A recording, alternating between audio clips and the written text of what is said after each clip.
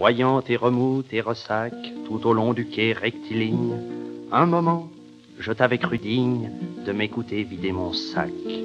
Tout comme on parle dans l'oreille d'un chien, compagnon de malheur, quand on n'a pas assez d'oseille pour s'approprier la blondeur d'une fille, à la peau bien tendre, qui fait semblant de bien comprendre et vous vante un peu de douceur, j'allais te confier mes alarmes, mes fatigues et mes regrets.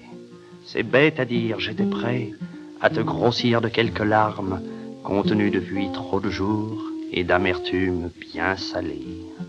Mais ta flotte s'en est allée, insensible, suivant son cours, roulant au pied de l'escalier tant de mètres cubes à l'heure. Tu t'en fous qu'on vive ou qu'on meure, t'es plus bête qu'un sablier.